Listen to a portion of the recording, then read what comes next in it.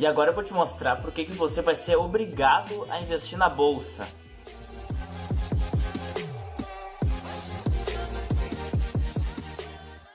E aí pessoal, tranquilo? Antes de mais nada, dê um like aí pro YouTube espalha bastante esse vídeo.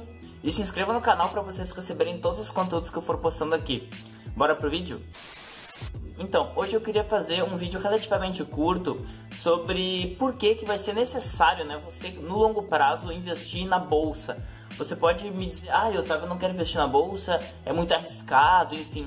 Uh, e bom, isso até pode ser verdade dependendo da forma que você investe, pode ser bem arriscado. Mas na realidade é importante a gente tentar observar como o Brasil ele se modificou ao longo do tempo, ao longo dos últimos anos, das últimas décadas, de forma que hoje em dia, para você conseguir formar um patrimônio de longo prazo, você tem necessariamente que aceitar mais volatilidade, possivelmente aceitar mais risco, para conseguir ter um retorno suficiente para formar um patrimônio para os seus objetivos, enfim, para sua aposentadoria, para você conseguir comprar o seu apartamento no futuro ou qualquer outro objetivo que você tenha. Por que, eu estou falando isso?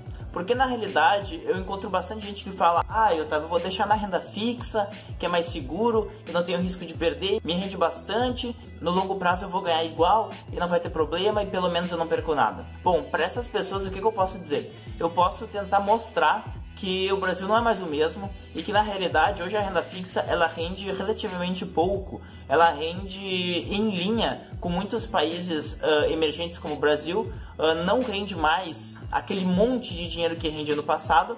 E a gente vai ver isso em números agora para tentar demonstrar para você por que, que você, mesmo devagar, mesmo com consciência, mesmo estudando, vai ter que devagarinho começar a colocar, enfim, o seu patrimônio em bolsa para que ele possa render no longo prazo.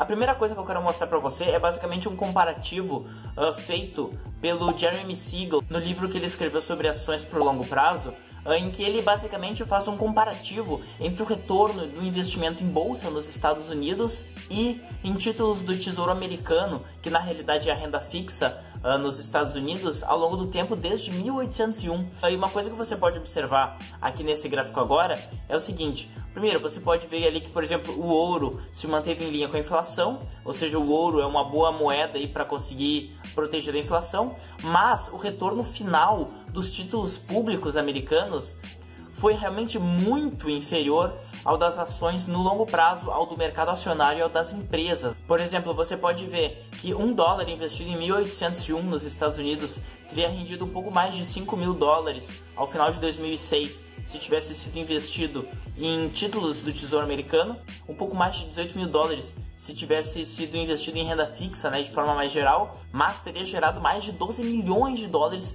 se tivesse sido investido no mercado acionário, né, em bolsa de valores. Ah, mas daí você pode me dizer, ah, Otávio, no Brasil é diferente, aqui a renda fixa é muito mais alta, rende muito mais, então não tem por que correr tanto risco para ter um retorno maior, porque aqui a gente consegue ter um retorno ótimo só com a renda fixa.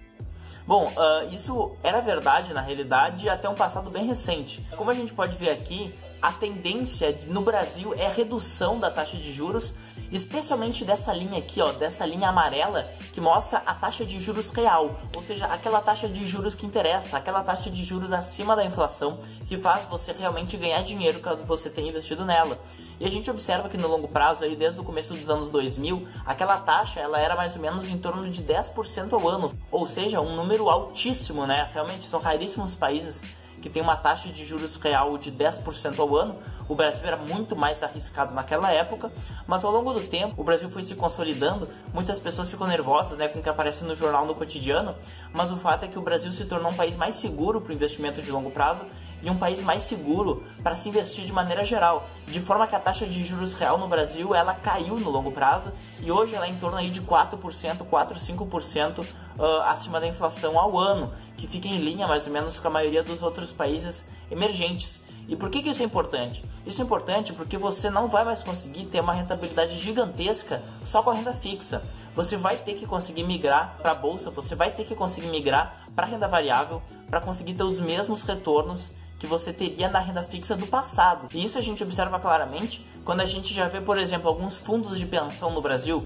O que, que são fundos de pensão? Né? São instituições que gerenciam dinheiro de aposentadoria privada de diversas pessoas, de diversos trabalhadores que contribuíram ao longo da sua carreira de forma privada, né, ou seja, em forma de capitalização própria, ah, que não seja a previdência social pública. Esses fundos de pensão, por exemplo, o maior deles é a Prev, que é o fundo de pensão dos funcionários do Banco do Brasil, que tem mais de 200 mil participantes. Esse fundo, hoje, o maior plano dele investe praticamente metade, né, 48%, investe já em renda variável.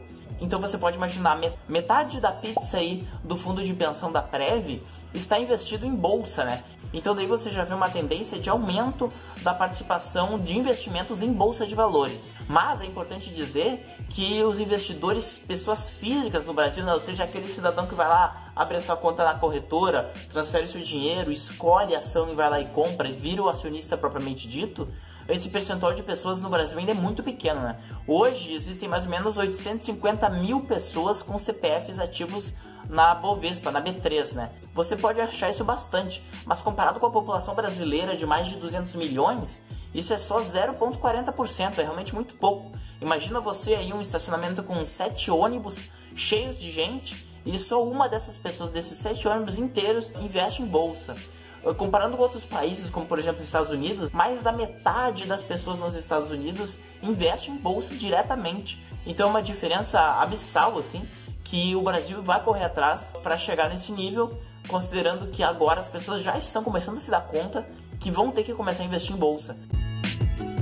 Então, é mais ou menos isso que eu queria passar para vocês. É necessário que você comece a investir em bolsa, é necessário que você comece a aprender sobre ações, porque vai ser a única forma de formar o seu patrimônio de longo prazo. Realmente você não vai conseguir ter uma aposentadoria tranquila, você não vai conseguir atingir seus objetivos financeiros maiores na vida uh, no Brasil. Se você não conseguir de forma reiterada investir em bolsa, reaplicar dividendos e escolher as melhores empresas para o longo prazo.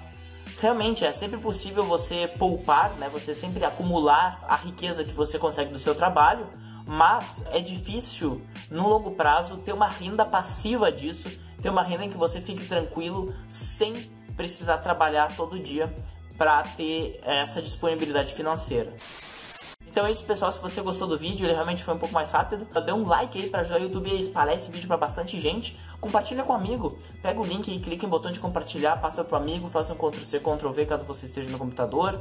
E se inscreve no canal e ative esse sininho que aparece logo depois para você receber todos os conteúdos novos que eu for colocando aqui. Aproveita para comentar aí o que, que você gostaria de saber, o que, que você precisa saber sobre bolsa, sobre investimento em ações, sobre investimentos em fundos imobiliários sobre investimentos via de regra no mercado financeiro em geral para a gente continuar conversando por aqui. Beleza? Valeu!